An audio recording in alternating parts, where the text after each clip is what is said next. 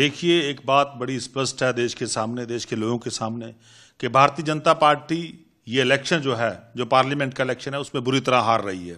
दस साल इन लोगों ने कोई भी काम देश के लिए नहीं किया, बल्कि देश के लोगों को बांटने का काम करती रही भारतीय जनता पार्टी।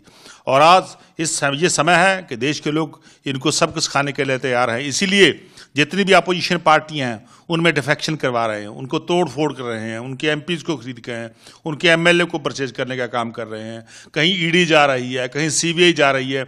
जब कोड ऑफ़ कंडक्ट लग गया, जब इलेक्शन मूड में आ गए देश जब देश में इलेक्शन होने जा रहा है, जब सभी तमाम पार्टियाँ अपना अपना एजेंडा लेके अपना अपना जो काम किया उन्होंने स्टेटों में, या नेशनल लेवल पे अपना एजेंडा लेके जा रहे तो उसी वक्त अपोजिशन की पार्टियों को तोड़ने का काम भारतीय जनता पार्टी कर रही है। और मैं समझता हूँ, क्योंकि इनके सामने हार दिखाई दे रही है। इनके इंटरनल सर्वों में, जो भारतीय जनता पार्टी के इंटरनल सर्वे हैं, उसमें भारतीय जनता पार्टी हार रही है। इसलिए अपोजिशन पार्टी के लोगों को तोड़ रही है।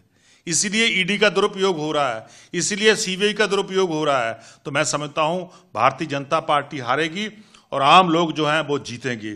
क्योंकि जिस संविधान को तोड़ने की कोशिश कर रही हैं, वो संविधान हमारे बुज़ुर्गों ने बनाया था। बाबा साहब भीमराव अंबेडकर जी ने ये संविधान बनाया। उसको तोड़ने का यत्न भारतीय जनता पार्टी कर रही है। संविधान को खत्म करने का यत्न भारतीय जनता पार्टी कर रही है। और दूसरी तरफ़, आज देश का लोकतंत्र खतरे में है। देश के लोकतंत्र को बचाने के लिए हमारे नेशनल कन्वीनर अरविंद केजरीवाल जी लड़ाई लड़ रहे हैं। आज उनको झूठे और फर्जी केस में जेल में बंद कर दिया।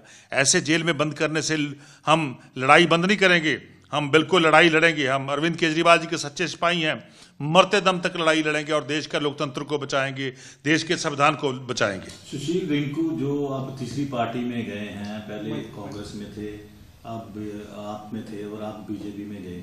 इन जैसे जो लीडर हैं, इनकी कैसे आप समझते आगे देखिए, जो ऐसे जो ऐसे लीडर होते हैं, जो ऐसे लीडर होते हैं, जो हर हर इलेक्शन में पार्टी बदलते हैं, उनको लोग सब कुछ खाते हैं।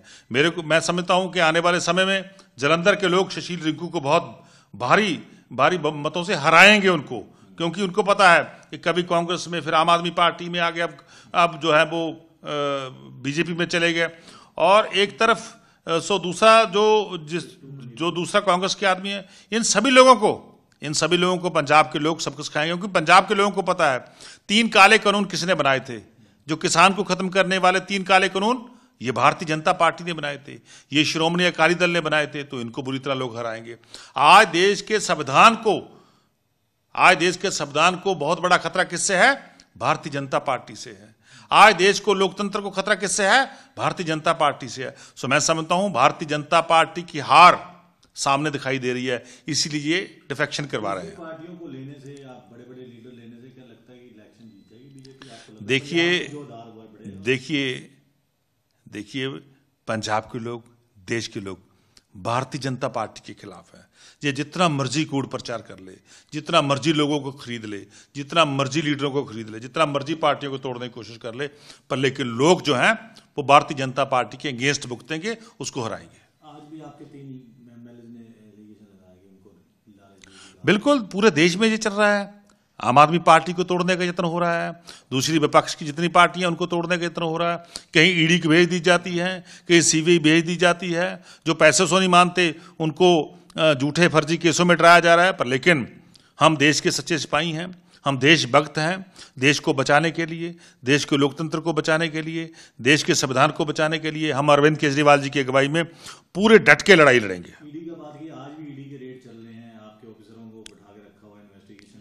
देखिए पूरे देश में देखिए, पूरे देश में दबा की राजनीति चल रही है कि दबा के लोगों की आवाज़ को दबा दो। जो बीजेपी के खिलाफ बोलता है, उसकी आवाज़ को दबाने का काम भारतीय जनता पार्टी कर रही है। कहीं ईडी भेज देती है, कहीं सीबीआई भेज देती है।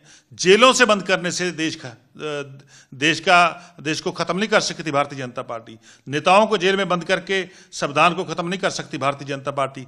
देश के लोग एकजुट हैं और मैं समझता हूँ, भारतीय जनता पार्टी को पूरा ज़ोर का झटका देंगे और भारतीय जनता पार्टी को लोग हराएँगे।